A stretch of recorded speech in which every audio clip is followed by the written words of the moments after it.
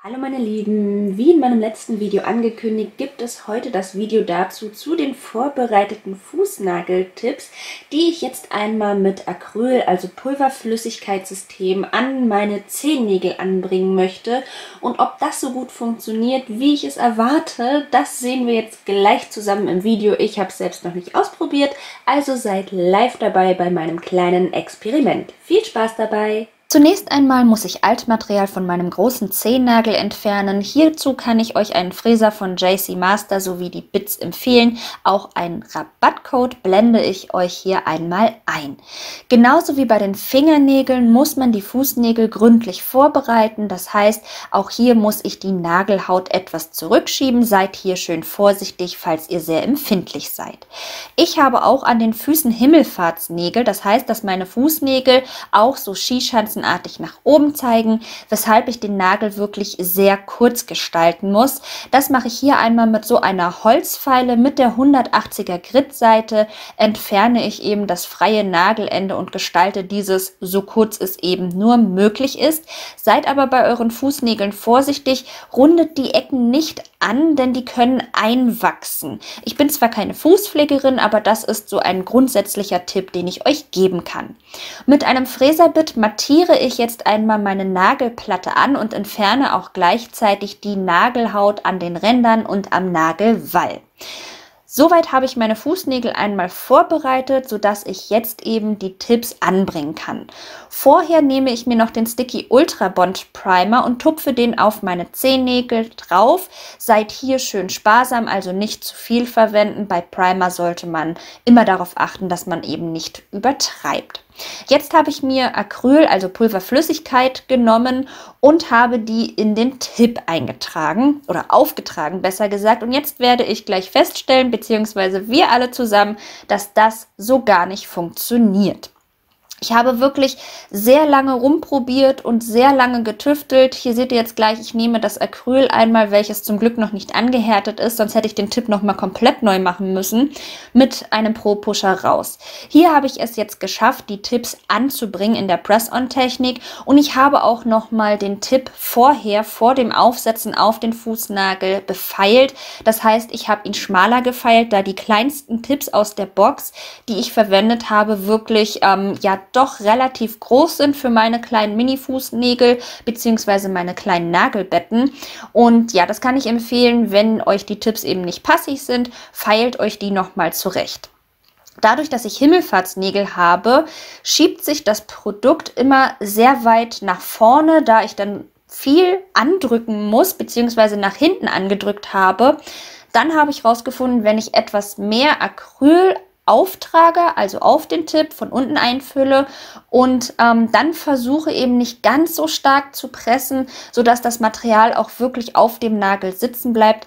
Dann hat es funktioniert und ich habe auch ein schnell härtendes Liquid am Ende verwendet. Allerdings muss ich trotzdem sagen, dass es mir persönlich mit Acryl noch ein bisschen kompliziert ist, weil ich eben eigentlich eine Geltante bin, wie man so schön sagt. Aber ich denke, wenn man den Bogen raus hat und vielleicht nicht gerade Himmelfahrtsnägel hat, so wie ich, dann dürfte das wesentlich einfacher sein und auch besser funktionieren.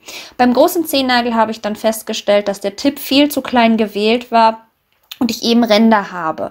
Die habe ich dann eben mit Acryl aufgefüllt, da ich den Tipp nicht nochmal komplett abnehmen wollte, aber auch natürlich vermeiden möchte, dass sich dort Bakterien sammeln, dass irgendetwas einreißt und deshalb habe ich diese Lücke dann aufgefüllt.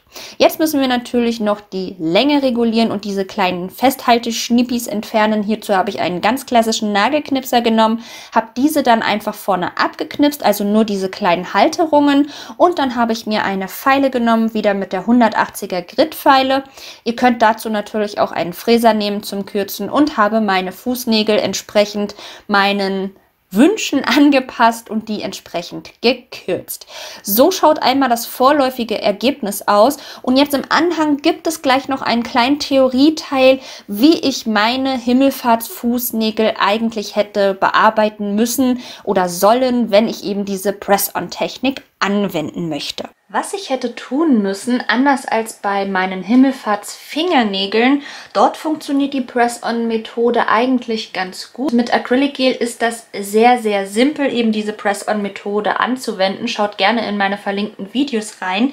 Allerdings bei meinen Fußnägeln, dadurch, dass ich eine sehr kleine Fläche gerade an den kleinen Zehennägeln habe und der große Zeh wiederum so richtig stark nach oben zeigt, hatte ich eben das Problem, dass das Produkt quasi nicht hier hinten sitzen geblieben ist, so wie es hätte sein müssen, ist es alles nach vorne geschoben worden, dadurch, dass ich hinten eben andrücken musste.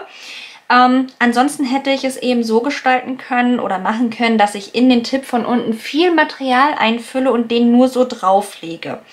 Da hätte mir allerdings nicht gefallen, dass sich hier hinten dann, also quasi in diesem Bereich, so ein starker Rand gebildet hätte. Und das hätte mich persönlich gestört. Und da ich das Design ja schon on top gearbeitet habe, hätte ich auch nicht nochmal nachfeilen können. Wobei ich das auch unbedingt vermeiden wollte, weil eine Fußnagelmodellage an sich selbst wirklich sehr anstrengend ist. Und ja, was ich aber hätte tun können, ist, das ausgleichen, indem ich, bevor ich mit der Press-On-Methode begonnen hätte, hier einmal eine ganz kleine Menge von Acryl aufzutragen, sodass ich eben diesen Bereich hätte ausgleichen können, damit ich eine ebenmäßige Fläche gehabt hätte. Die hätte ich noch einmal mit dem Fräser so ein bisschen befeilen müssen. Also ich sage von der Draufsicht her hätte ich dann quasi diesen Teil einmal so ein bisschen aufgefüllt, sodass ich diese ebene Fläche erhalten hätte. Und so wäre es dann auch nicht so schlimm gewesen. Also so hätte ich auch keine übermäßige Kante gehabt, denn mit dem Press-On hätte ich sehr sparsam, also mit dem Material unter dem Press-On-Tipp, hätte ich sehr sparsam arbeiten können und den Tipp eben nur oben drauf legen müssen und hätte den nicht so weit nach hinten runterdrücken müssen. Also ich denke, so wäre es besser gewesen bei den Himmelfahrtsnägeln. Habt ihr gerade gewachsene Zehennägel, denke ich mal, sollte das keine große Sache sein, dort die Tipps so anzubringen, wie ich es im Video eben eigentlich vorhatte. Schreibt mir gerne mal in die Kommentare, ob das bei euren Fußnägeln so klappt, wenn ihr das ausprobiert habt. Das würde mich brennend interessieren. Außerdem würde ich auch gerne noch ein weiteres Video machen an meinem anderen Fuß. Ähm, würde ich gerne mit Acrylic-Gel arbeiten, denn das funktioniert meiner Meinung nach an meinen Fußnägeln vielleicht vielleicht etwas besser. Also lasst es mich gerne wissen, wenn ihr dazu auch ein Video sehen möchtet. Ich bedanke mich wie immer ganz herzlich fürs Zuschauen und wünsche euch noch einen wunderschönen Sonntag. Vergesst auch nicht die Rabattaktion, die nur noch bis morgen um 23.59 Uhr läuft. Falls wir uns nicht mehr sehen sollten auf Instagram oder auch woanders, dann wünsche ich euch an dieser Stelle schon mal einen ganz tollen Valentinstag, egal ob mit Ciao.